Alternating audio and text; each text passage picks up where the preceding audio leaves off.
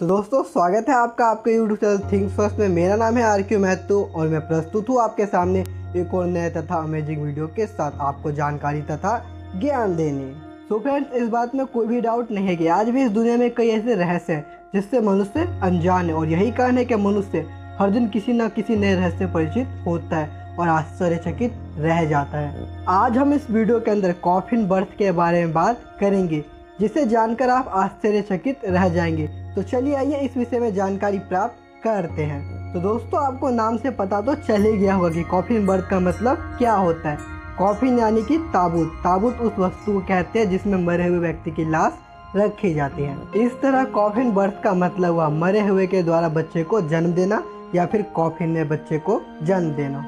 दोस्तों, इससे पहले कि आप यह सोचे कि कॉफिन बर्थ कोई धार्मिक प्रथा है या फिर कोई अंधविश्वास है, मैं आपको यह बताना चाहूँगा कि यह कोई धार्मिक प्रथा या फिर कोई अंधविश्वास नहीं है, बल्कि वैज्ञानिकों ने इस पर रिसर्च की है और इसे सच माना है। कॉफिन बर्थ को अच्छे से समझने के लिए मैं आपको एक अजीब सी घटना बताना चाहूँगा, जिससे जानने के बाद आप कॉफिन बर्थ के बारे में सब कुछ जान जाएँगे और आपके मन में किसी भी प्रकार का सवाल नहीं रहेगा। तो चलिए आइए इस घटना के बारे में जानते हैं। तो दोस्तों, एक घटना है साउथ अफ्रीका के एक गाँव मठियासी की, जहाँ एक गर्भवती महिला की मृत्यु हो जाती है। मृत्यु के बाद उस महिला की डेड बॉडी को 10 दिनों तक अस्पताल में रखा जाता है। और 10 दिनों के बाद अस्पताल वाले उस महिला की डेड बॉडी को एक ताबूत में रखकर उस महिला के घर वालों को दे देते हैं। जब उस गर्भवती महिला के घर वाले उस ताबूत को खोलकर देखते हैं तो वह आश्चर्यचकित रह जाते हैं, क्योंकि उस महिला ने एक बच्चे को जन्म दे रखा था। हालाँकि ताबूत बंद होने के कारण बच्चे की मृत्यु हो गई थी। इस घटना की पूरी दुनिया में काफ़ी चर्चा हुई। कई रिसर्च भी हुए। तथा अंत में एक डॉक्टर की टीम ने इसका कारण खोज निकाला कि आखिर कैसे एक मरी हुई महिला ने एक बच्चे को जन्म दिया।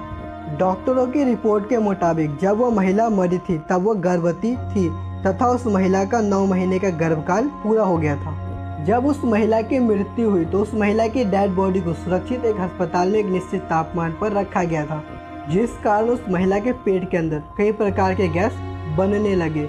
जिससे उस महिला का पेट फूलने लगा तथा जब गैस की मात्रा अधिक हो गई तो उस महिला के गर्भ में पल रहे बच्चे को उन गैसों ने धकेलना शुरू कर दिया, जिससे बच्चा माँ के गर्भ से बाहर आ गया। लेकिन दोस्तों, इस बात का अभी तक पता नहीं चला है कि जब बच्चा अपने माँ के गर्भ से बाहर निकला तो क्या वो ज़िंदा था या फिर मरा हुआ, पैदा हुआ था? क्योंकि किसी ने भी उस बच्चे को जन्म लेते नहीं देखा था।